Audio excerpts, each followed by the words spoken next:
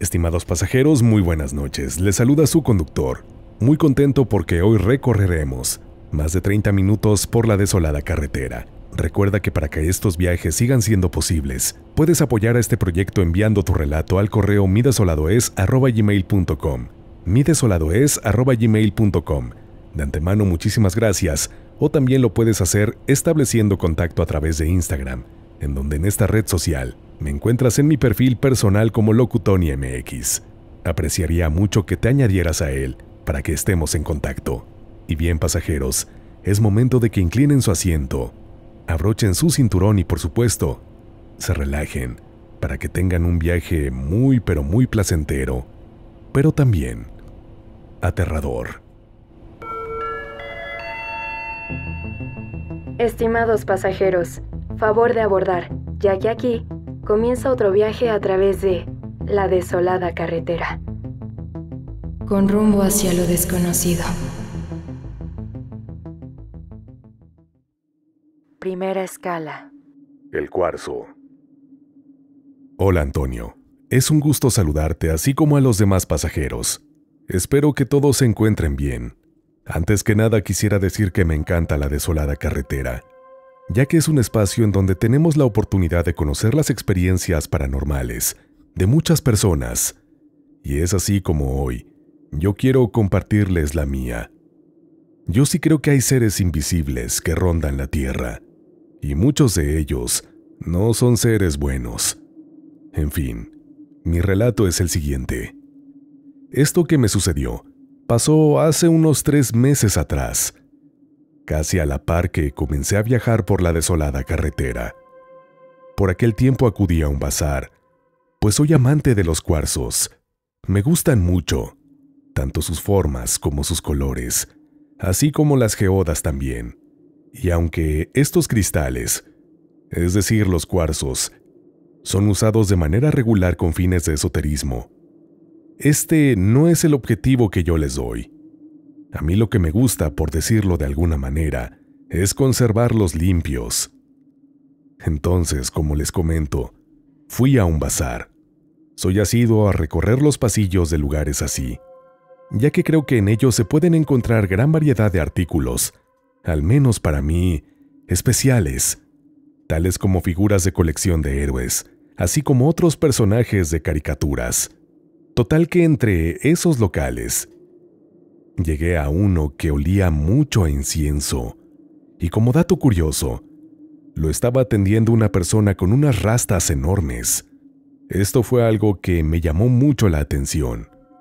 Entre sus artículos, él vendía minerales, y ahí fue que lo vi. Un cuarzo que me gustó mucho. Estaba con su cadena de tela, lista para colgarse. Me gustó tanto que no lo dudé ni por un segundo y lo compré. Resulta que me agradó a tal nivel que incluso me dormía y me bañaba con él. Para todos lados lo cargaba y todo normal, hasta que una noche sucedió lo extraño de esta historia. Pasa que ese día me recosté junto con mi cuarzo como de costumbre, y así al pasar los minutos, de pronto en la madrugada, escuché proveniente de uno de los cuartos el sonido de un par de objetos cayendo. Me levanté, fui a ver y no había nada. Todo estaba en absoluto orden. Si se lo están preguntando, sí me gustan las mascotas. Pero en este momento no cuento con un gato o un perro como para que este animal hubiese provocado esos ruidos. Pues bien, al final de cuentas no hice caso y me fui a acostar. El día transcurrió sin novedad y ya por la noche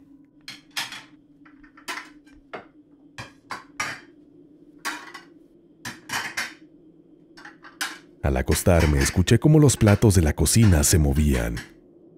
Era un ruido fuerte, tan fuerte que yo estaba dormido y este me despertó de manera que esto no había sido producto de mi imaginación. Así que lo que hice fue levantarme e ir prendiendo las luces gradualmente. Primero la del baño, luego la del pasillo, y así sucesivamente, hasta llegar a la cocina. ¿Cuál sería mi sorpresa que ahí pude ver que no había nada, ni nadie? Los platos estaban acomodados justo como los había dejado. ¿Qué habrá sido? Me preguntaba para mis adentros, sin relacionar todavía estos fenómenos con el cuarzo. Tras no encontrar explicación, decidí volver a apagar todo y volverme a dormir.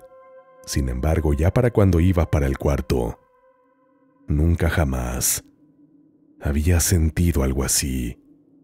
Percibí que algo estaba atrás de mí, y conforme avanzaba, ese algo o alguien estaba yendo conmigo. Fue una sensación que solo una persona que haya pasado por algo así podría explicarles. Un sentimiento extraño, pero acompañado de un miedo, un temor intenso que recorre todo tu cuerpo. Entonces corrí al cuarto, rápido cerré la puerta y le puse seguro. Sin embargo, yo sabía que no había nadie, ya que no era posible que alguien se hubiera introducido a mi casa. Quiero decirles que justo ahora que lo estoy narrando, siento escalofríos recorrerme. En fin, esa noche volví a acostarme. Tardé mucho en conciliar el sueño, pero al final me dormí. Al día siguiente, al ya estar acostado, me empezó a despertar un sonido de metal, que gradualmente se fue haciendo más fuerte. Este sonido me llevó a ver la puerta, específicamente la perilla, misma que...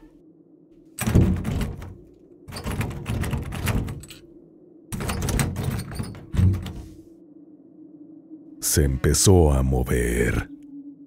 Esto obviamente me causó temor, y lo primero que pensé fue que se había metido alguien. Me levanté, y justo cuando iba a tomar la perilla para abrir, hubo un golpe en la puerta, y mi primera reacción fue de enojo. Abrí la puerta en cuestión de segundos, pensando que me iba a encontrar con alguien, pero mi reacción fue tan rápida que de ninguna manera hubiera habido la posibilidad de que esta persona huyera. Pues bien, cuando abrí la puerta, no había nadie. Fue ahí que me llené de temor. Me asusté mucho. Por un momento pensé en llamar a la policía, pero luego medité que esto no tenía caso, pues no había nadie. ¿Qué les iba yo a decir? así que me limité a cerrar nuevamente la puerta. Le puse el seguro, y esa noche mejor encendí la tele. Me quedé viendo un programa, y transcurridas unas dos o tres horas, por fin, pude quedarme dormido. Pero mi agotamiento fue tal que ese día no fui al trabajo. Ya cuando me levanté, fui a desayunar pues salí un rato de la casa para despejarme. Sentía sueño debido a la desvelada, así que al regresar me recosté en la sala y estaba viendo la tele, hasta que me venció el sueño y me quedé dormido. Entonces, eventualmente, sentí como si alguien me estuviera oprimiendo el pecho, mientras yo no podía despertar. Quería abrir los ojos, pero no podía. Sentía como si alguien se hubiera acercado muchísimo a mí, porque este ser comenzó a hablarme al oído en secreto, pero poco después escuché, Iván, aquí estoy. En ese momento yo quería pronunciar el nombre de Jehová, ya que se dice que si tú lo mencionas, los espíritus se alejan porque le tienen miedo. Sin embargo, no podía. Quería hablar, pero algo me lo impedía. Más allá de balbuceos incomprensibles, no podía pronunciar palabra. Así me mantuve por un rato, hasta que después de seguir intentándolo, pude pronunciar su nombre. Jehová.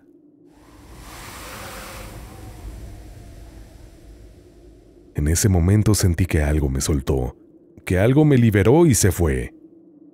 Abrí los ojos. Ya pude respirar, Me levanté y fue en ese momento que, como se dice comúnmente, me cayó el 20, que era el cuarzo el que estaba contaminado. De modo que lo que hice fue no deshacerme de él inmediatamente, sino que más bien lo tomé, subí a mi carro, conduje hasta una zona remota y desolada, corté la cadena de tela y enterré el mineral. Después de esto, todo volvió a la normalidad, y a la fecha en mi casa, no he vuelto a escuchar un sonido extraño. Todo ha estado pacífico, y ahora yo duermo perfectamente bien, de la noche hasta el día siguiente. Desde esa experiencia soy muy selectivo al comprar este tipo de objetos, ya que uno no sabe de dónde puedan provenir y para qué fueron utilizados. Esta es mi experiencia, conductor y pasajeros. Me despido de ustedes pidiéndoles que si poseen una afición como la mía, tengan cuidado y estén conscientes ya que al adquirir un cuarzo, tal vez a ustedes también los visite su dueño original. Segunda escala. El señor del sombrero. Mi nombre es Mónica y me encanta la desolada carretera. Quiero decirles que a lo largo de mi vida he tenido varias experiencias paranormales. El día de hoy relataré algo que me sucedió hace ya más de 40 años. Tengo tres hermanos. Luis, que es un año mayor que yo, Germán dos años más grande que yo, y Alberto el más pequeño, quien es siete años más chico que yo. Todos en mi familia hemos vivido este tipo de experiencias. Pero hoy les relataré algo que hasta este día no le encuentro explicación. Sucede que cuando yo tenía alrededor de ocho años, vivíamos en un lugar llamado Los Cuartos Capulín, que se encuentra ubicado en Naucalpan, Estado de México. Esto sucedió entre 1981 y 1982. No recuerdo muy bien la fecha exacta. A mis hermanos y a mí. Nos gustaba salir a explorar el lugar en donde vivíamos, ya que teníamos poco tiempo viviendo ahí, y encontrábamos este sitio muy hermoso. Era como un campo, lleno de flores, y había un arroyo. Para llegar a ese sitio, teníamos que arribar primero al mercado de ese lugar. A un costado, había como una especie de cerro, no muy alto, el cual atravesábamos y llegábamos a un pequeño pueblito, que honestamente nunca supe cómo se llamaba. Éramos niños y eso era lo que menos importaba. Pasábamos por ese pueblito y al final había una carretera que en aquellos años no era muy transitada. La cruzábamos y del otro lado estaba el campo que les comenté, que nos encantaba. Ahí jugábamos en el arroyo, cortábamos flores y las llevábamos a casa para ponerlas en floreros, y así la casa lucía más alegre. En cierta ocasión, nos sucedió algo que no sé si llamarlo paranormal o una especie de milagro.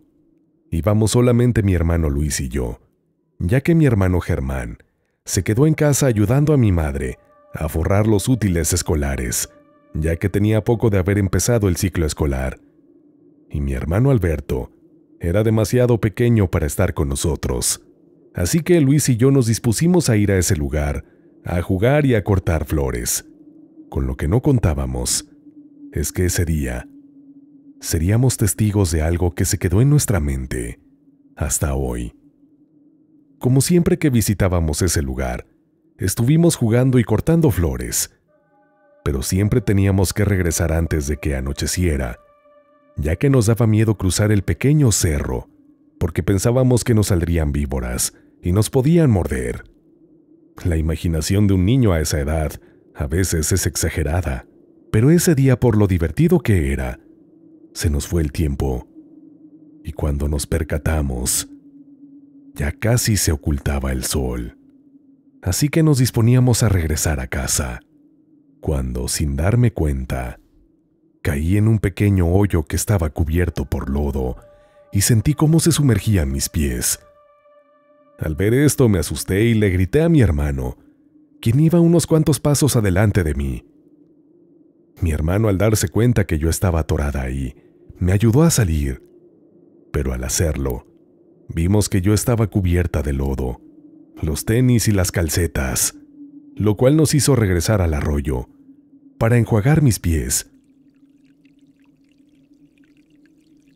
Cometí el error de quitarme las calcetas y tratar de limpiarlas, para que mi mamá no se diera cuenta que las había ensuciado, ya que las mamás de antes eran demasiado exigentes con esto, o al menos la mía sí lo era, y yo no quería que me fuera a regañar o a castigar por llegar con los tenis y calcetas sucias. Pero el agua corría un poco rápido, y esto hizo que una calceta se me zafara de la mano. Al ver esto, corrí junto con mi hermano para alcanzarla. Esto nos hizo perder tiempo, y sin darnos cuenta, empezó a oscurecer. Cuando por fin pudimos recuperar mis calcetas, me las puse así mojadas y también los tenis, y salimos del campo corriendo. Pero cuando cruzamos la carretera, nos dimos cuenta de que ya estaba muy oscuro, y nos dio miedo tener que cruzar el cerrito, por lo que les comenté de las víboras. Yo ya estaba espantada porque se veía muy oscuro. Entonces tomamos la decisión de correr sobre la carretera, pensando que nos llevaría a algún lugar. Sin embargo, corrimos y corrimos, alrededor de diez minutos, y no llegábamos a ningún lado. La carretera se veía desolada. No había nada. A lo cual dejamos de correr y decidimos regresar al lugar en donde estábamos. A estas alturas, yo tenía lágrimas en los ojos del miedo que me daba la oscuridad. En un lugar solitario, mi hermano y yo, unos niños de tan solo ocho y nueve años, estábamos bastante asustados.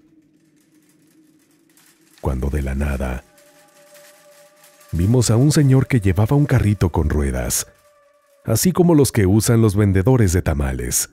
El señor se veía humilde, y esto lo digo sin afán de ofender. Lo recuerdo muy bien. Era un señor de ya avanzada edad. Más de 60 años sí tendría. Era muy delgado. Llevaba una camisa blanca y un pantalón café. Usaba sombrero y guaraches. El señor pasó a un lado de nosotros y volteó a vernos, pero no dijo nada. Solo hizo un movimiento con su cabeza, a lo que nosotros entendimos que lo que quería era que lo siguiéramos, pero estábamos confundidos y no sabíamos qué hacer, ya que todo estaba totalmente desolado. Y de la nada, había aparecido este hombre, sin que nosotros lo hubiéramos visto llegar. Nos limitamos a quedarnos viendo al Señor, dirigirse en la misma dirección, en la que habíamos corrido inicialmente sin llegar a ningún lado. De repente, el Señor así como se apareció, de la nada, también se desapareció. De un momento a otro lo dejamos de ver, lo que se nos hizo muy extraño. De cualquier modo decidimos volver a correr, hacia donde vimos que se había desaparecido este señor. Corrimos mucho menos que la mitad del tiempo que habíamos corrido la primera vez, cuando decidimos regresar porque no se le veía fin a la carretera pero de pronto nos dimos cuenta que ya estábamos en el mercado. Es decir, no tuvimos que atravesar el pueblito, ni cruzar el cerro para llegar al otro lado. Fue como si ese señor nos hubiera ayudado a llegar a nuestro destino, sin hacer todo el recorrido que teníamos que hacer. Mi hermano y yo no encontrábamos explicación a lo que nos acababa de suceder parecía como si nos hubiéramos transportado, en cuestión de segundos, de un lugar a otro. Como ya estaba oscuro, no había mucha gente, y comenzamos a buscar al señor del sombrero con su carrito. Pero no lo encontramos. Esto nos hizo llegar a la conclusión de que solo se había aparecido para ayudarnos, ya que jamás lo volvimos a ver. Tal vez no es un relato que asuste, como otras experiencias que nos han sucedido que son realmente raras, como lo mencioné al principio de mi relato. No sé si esto fue algo paranormal o un milagro, pero el que ese señor nos haya ayudado a regresar a casa es algo por lo que siempre estaré agradecida. Haya sido una persona o una aparición. Tercera escala. Los golpes. Hola conductor, me llamo Paco y soy un pasajero más de esta desolada carretera. Saludos desde Andalucía, España. No quiero decir la ciudad en concreto donde vivo. Quiero contaros una experiencia que tuve ya hace años. Antes de comenzar, quiero ofrecer un poco de contexto. A lo largo de mi vida, he experimentado una gran variedad de, no sé si premoniciones o presentimientos.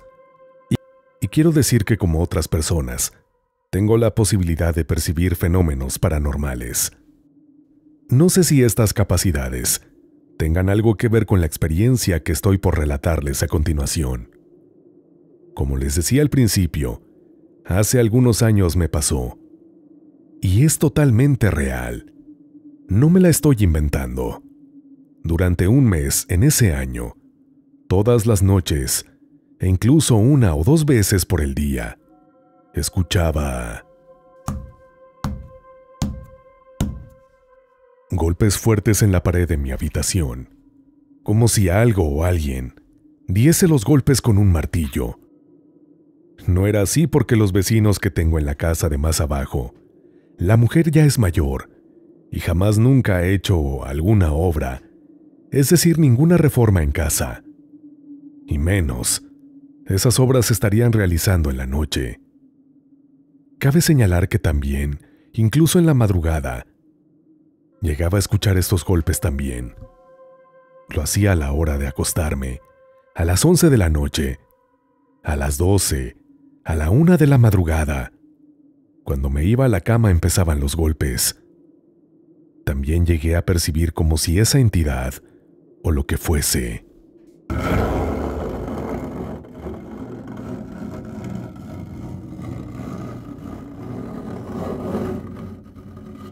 Rasgase la pared.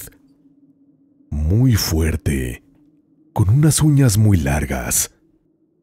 Ya desesperado, se me ocurrió poner la cámara de fotos que tenía en modo video. Durante una semana, recuerdo que al ponerla yo hablaba en voz muy baja para que se escuchase lo que me sucedía en mi habitación. Cuando grabé los videos los copié y los pegué en mi computadora portátil. Al día siguiente, me puse unos audífonos gamers con los que cuento, y no se oía nada en los videos. He de decir, yo nunca he sido altamente sugestionable, ni reacciono fuertemente a las películas de terror ni nada por el estilo.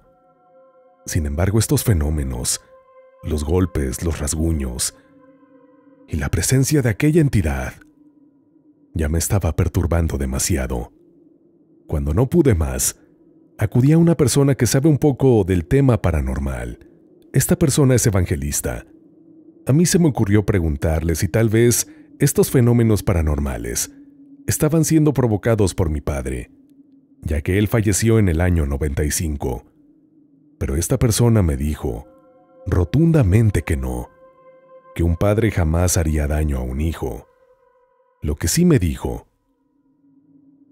fue que seguramente lo que estaba provocando estos ruidos y estos rasguños en la pared era una fuerza maligna, y lo que agregó después me estremeció, y por la desolación en que ya me tenía sumido, me dijo que incluso podría ser que este fuera un secuaz del innombrable ya que su servidor cree en Dios. No podría llamarme católico ni cristiano, pero creo en el Dios que no se ve pero está ahí.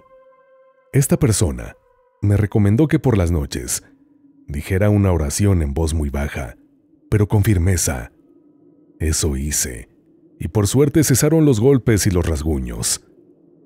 Poco a poco, durante algunas noches aún seguían, pero con menos fuerza y con menos intensidad hasta que al fin una noche pararon. Sin embargo, quiero decirles, conductor y pasajeros, que aunque eso ya acabó, muchas noches sí tengo pesadillas horribles. No sé si este ser, este ente que llegó a mi casa, me sigue atormentando. quiero confesarles que a veces tengo falta de fe. Y no sé si esto ayude. Hasta aquí mi experiencia. Un abrazo muy fuerte para el conductor y para los pasajeros. Saludos desde Andalucía, España.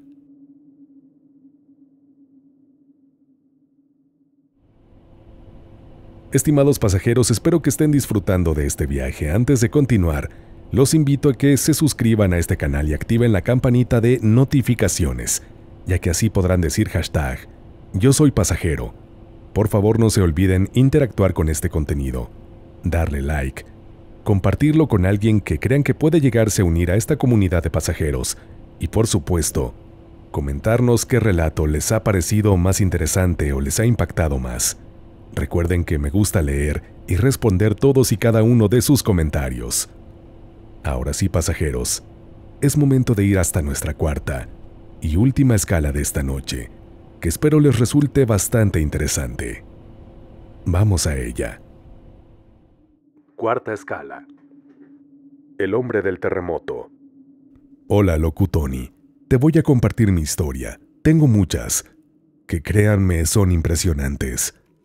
Incluso hasta he pensado en abrir mi propio canal, pero de momento, quisiera que fuera en la desolada carretera, donde se publica esta experiencia. Esto pasó en Chile, en la cuarta región de Coquimbo. 20 kilómetros hacia el interior, hay una zona que se conoce como el Valle del Elqui. Justo ahí se encuentra una zona llamada Las Rojas. En este pueblo de Las Rojas hay un lugar específico que se llama Cotún, que es muy famoso por acá, por lo menos en Chile, ya que aquí han pasado muchísimas cosas. En esta zona, yo fui profesor, y ahí le hice clase a una persona, que era la sobrina del dueño de ese lugar, y precisamente ella fue testigo de lo que ahora les narro, mismo que tengo permiso por parte de mi colega para compartirlo con ustedes. Ella también, por cierto, profesora de este poblado. Nosotros éramos maestros en la escuela nocturna. El 16 de septiembre de 2015, tuvimos un terremoto acá en Coquimbo. Si gustan, conductor y pasajeros, lo pueden buscar y corroborar en Internet. Este desastre natural fue tremendo. Por esos días, el director del colegio insistió en que todos los colegios que eran de satélite, es decir, Las Rojas, Quebrada de Talca el Romero, entre otras, tenían que hacer una actividad el 16 de septiembre, ya que acá se le conoce como el Día Nacional. Dentro de este relato, yo había tenido un accidente. Me había chocado un camión de manera aparatosa, por lo tanto me encontraba con licencia de un mes. Así que yo estaba en mi casa. Entonces, como faltaban profesores en las rojas, le preguntaron a Elsa si ella tendría la amabilidad de ir hasta las Rojas ese día, debido a la falta de profesorado. Ni un problema, dijo, y así partió para allá. Ese día, ella estaba solamente con el profesor Pedro, que es maestro de matemáticas. Un hombre, por cierto, muy pragmático. En fin, llegada la noche, aproximadamente a las 20 para las 9,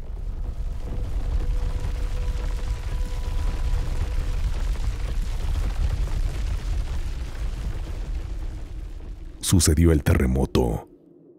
Su servidor lo pasó en casa, junto a mi hijo, mi esposa y los perros, que ante el movimiento se alteraron bastante y no dejaban de ladrar. Pero mientras tanto, en las rojas, pasó algo. Se vino el colegio abajo. Cayeron además piedras, como de unos tres kilos cada una hacia abajo, estrellándose contra cristales, puertas y paredes. El profesor Pedro, no contándole nada a nadie, se subió a su camioneta y se fue. Los estudiantes ya habían prendido carbón e iban a hacer un asado, debido a la conmemoración del 16 de septiembre. Pero debido a este incidente, esta fue suspendida. Los estudiantes preocupados le cuestionaron a la maestra, Oiga, usted se quedó sola. ¿Qué va a hacer? Ya se fue el profesor, A lo que ella dijo de manera casi estoica, No se preocupen por mí. Me van a venir a buscar desde Quebrada de Talca, en móvil para llevarme a La Serena. Así que no se preocupen. Vayan a sus casas. Mientras tanto, venían varias réplicas del sismo y todo se movía de nueva cuenta, hasta que la luz eléctrica se dio y quedaron sumidos en penumbras. Así estudiantes y profesora tuvieron que despedirse, y Elsa emprendió su camino en solitario, en medio de la desolación del desastre. En un punto sacó su teléfono y estaba tratando de encontrar un número para que alguien pudiera auxiliarla, pero se dio cuenta de que no tenía señal. En ese instante, pasó algo extremadamente raro. Un farol que se encontraba justo arriba de ella, como por arte de magia, se encendió de la nada. Esta era la única luminaria encendida en todo el pueblo.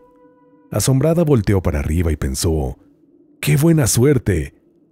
Y en ese instante decenas de mensajes comenzaron a entrar a su dispositivo.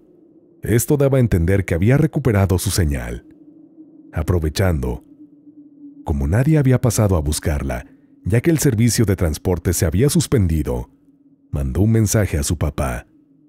Papá, estoy en el colegio de las Rojas. No tengo cómo irme. Por favor, ven por mí. Claro que sí, hija, contestó él, aunque sí le pidió que tuviera paciencia, ya que tampoco había energía eléctrica. Los semáforos estaban cortados y sabía los caminos estaban hechos un desastre, así que le llevaría algo de tiempo llegar. No te preocupes, papá. Yo te espero aquí, dijo la mujer. Y así se despidieron, y la señal en ese instante se volvió a perder. De pronto apareció un caballero, de avanzada edad, que parecía haber salido de la nada. Él venía caminando hacia ella. Hola, ¿Cómo está? Buenas noches. ¿Usted hace clases aquí? Le dijo al llegar hasta ella. Sí, contestó la mujer. Me puedo quedar un ratito con usted, hacerle compañía, le dijo el hombre. Pero caballero, acabamos de pasar un tremendo terremoto. Quiero pensar que usted tiene que irse a su casa. A mí me van a venir a buscar, no se preocupe, mencionó la mujer. Pero él insistió. Pero la puedo acompañar. No tengo a dónde ir. Bueno, ya, accedió ella, y se pusieron a conversar de diversos temas. La vida, el tiempo, el sol, la luna, por supuesto el terremoto, y cómo el colegio se había partido a la mitad y venido abajo. Elsa menciona que en este punto, el tiempo pasó de forma increíble. Le pareció muy poco tiempo, pero después supo. Horas habían transcurrido. En cierto momento en el camino apareció una luz, y entonces al verla el hombre dijo, Ahí viene tu papá. ¿Cómo sabe que es él? Cabe señalar que la mujer nunca había dicho quién iría a buscarla. A lo que el hombre simplemente expresó, ¿quién más va a venir a buscarla? Tienes razón, dijo ella. Posteriormente le hizo señas a su papá, y él se acercó. Elsa entró al auto. Se saludaron y se abrazaron efusivamente. ¡Qué susto, papá! Vámonos, por favor. Sin embargo, él, antes de emprender la marcha, le hizo una pregunta que la desconcertó por completo. Elsa, ¿con quién estabas hablando? Pues con el ca con el caba... con el caballero... trataba de decir la joven, mientras volteaba hacia atrás, buscando ubicar a su acompañante en medio de la oscuridad. Elsa, estabas hablando sola, le dijo su padre. No había nadie al otro lado. Incluso pensé que estabas hablando por celular. ¿Cómo iba a estar hablando por teléfono si mira, no tengo señal? Dijo ella. No lo sé, hija. Estabas hablando sola, replicó el hombre. En ese momento ella le reveló, Papá, había un caballero al lado mío, que me hizo compañía todo este rato. Mientras decía esto, en ese instante la luz del farol, la única luz que estaba encendida, se apagó, dejándolos inmersos en una profunda oscuridad, interrumpida únicamente por las luces del vehículo. Vámonos, vámonos, papá, dijo ella apurada, y él aceleró. Pasaron como cinco años, y un día hablando con Elsa, platicando de cosas paranormales, ella recordó esta experiencia, pero de una manera abrupta y haciendo una expresión de extrema sorpresa, ya que nos dijo, le parecía que su subconsciente la había hecho olvidar. Sin embargo, al estar conversando de estos fenómenos, fue que de pronto la recordó, y así la compartió con nosotros. Cabe señalar, conductor y pasajeros, que esta es una zona que se caracteriza por contar con un gran número de relatos paranormales. El hombre de negro, las monedas de oro, las piedras, la cabeza del chancho, mismas que si gustan, puedo irlas compartiendo con ustedes. Por lo pronto, les dejo esta, la experiencia de la profesora Elsa, que hasta estos días no encuentra explicación para lo que le sucedió. Pero más allá de eso, ella guarda un sentimiento de agradecimiento para aquel misterioso hombre, o esa alma o fantasma, que aquel 16 de septiembre la acompañó en el devastador terremoto de Coquimbo.